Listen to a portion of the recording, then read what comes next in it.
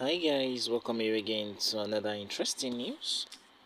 Uh, it has just been said that the same way we have Boko Haram terrorizing the northern part of Nigeria, the Yoruba Nation and IPOB are also a major threat for us in the southwest and southeast. This is a statement from the Nigerian military headquarters.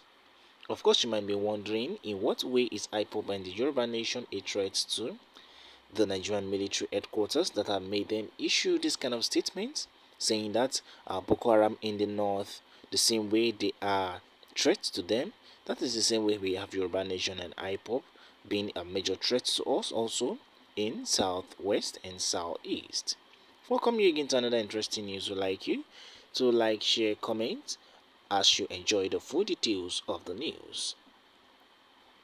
The Defense Headquarters, Abuja, has said it has recorded successes against terrorist bandits and other criminal suspects across the nation in the year 2023.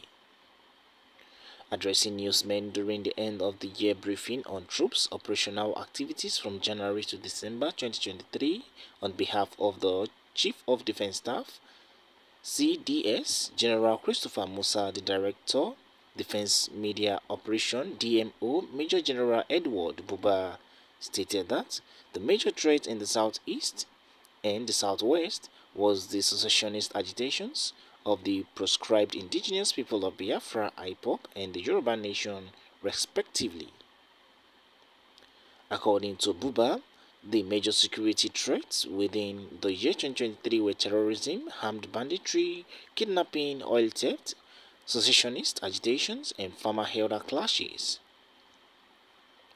He added that during the period, troops neutralized 6,886 terrorists and other criminal elements. Troops arrested 6,970 suspects, rescued 4,488 kidnapped hostages, as well as recovered 3,320 assorted weapons and 39,075 assorted ammunitions. Additionally, he said Troops recovered 100 million 316,600 liters of crude oil, 60 million 339,426 liters of AGO, 3 million 465,450 liters of DPK, and 3 million 544,990 liters of PMS, which is the premium motor spirits.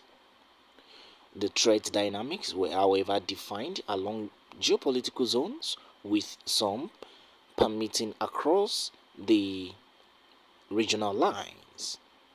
The predominant threat in the north central and the northwest region is armed banditry and terrorism, while the Boko Haram terrorists, ISWAP, that is the Islamic State West African province, lingering insurgency remained the main threat in the north east region.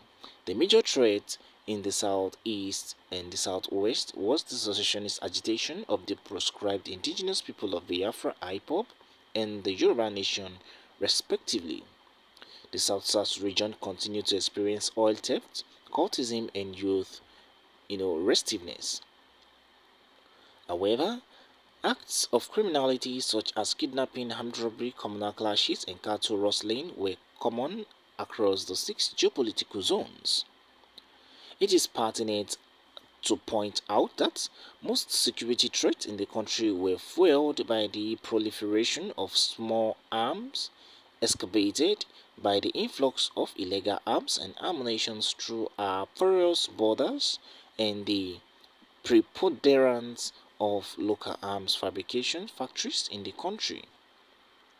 Thus, the armed forces' kinetic and non-kinetic efforts were geared towards tackling these threats in all the geopolitical zones. He disclosed further the security situation in year 2023 has remained fluid, complex and dynamic with the threat morphing in form of scale, the unpredictable nature of the threat, and the attendant demand for stability has continued to pose significant challenges for security forces. Consequently, various forces have continued to evolve tactics, techniques, and procedure (TTP) to professionally respond to these threats. The armed forces have been developing the desired enablers to overcome the country's numerous threats.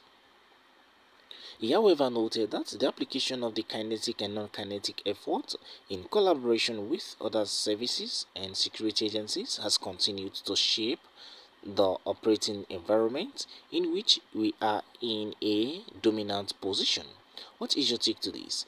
What is your own reaction to this development? You just heard what has been said that the agitation of the indigenous people of Biafra, IPOB, and the Yoruba nation, respectively, is another threat to the southwest and the southeast. In fact, it's not just another, but it is a major threat for us. That's what the Nigerian military headquarters have said. That, like Boko Haram in the north, Yoruba Nation and IPOB are major threats for us in the southwest and southeast.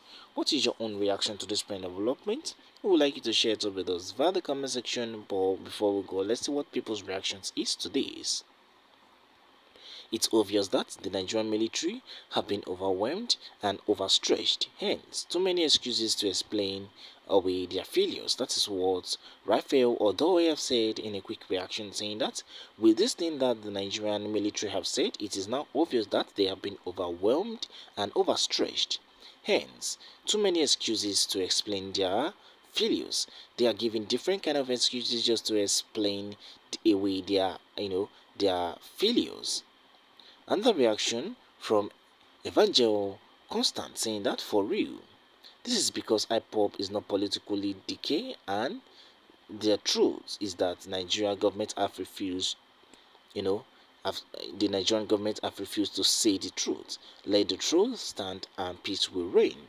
This is another powerful reaction from Evangel Constant saying that for for real, that is because IPOB is not politically you know decay and for as for the truth the nigerian government has refused to say the truth. And that is why nigeria is still the way it is. Say the truth now and peace will reign. What is your own reaction to this? Another reaction from ido samuel saying that it's a lie. When nigerian you know when yoruba nation pardon becomes a threat that's the end of the beginning of the amalgamation organ Know that and know peace. Yoruba is a loving and caring people. Any day the Yoruba becomes a threat, just know that Nigeria is finished. That is what has been said by Ido Samuel. Different reactions from different persons. We would like you to share it with us via the comment section. Don't forget that, like Boko Haram in the north, Yoruba Nation, IPOB are major threats to us in the southwest and southeast. That's what the Nigerian military headquarters have said. Thank you guys for listening. To subscribe to this channel if you have not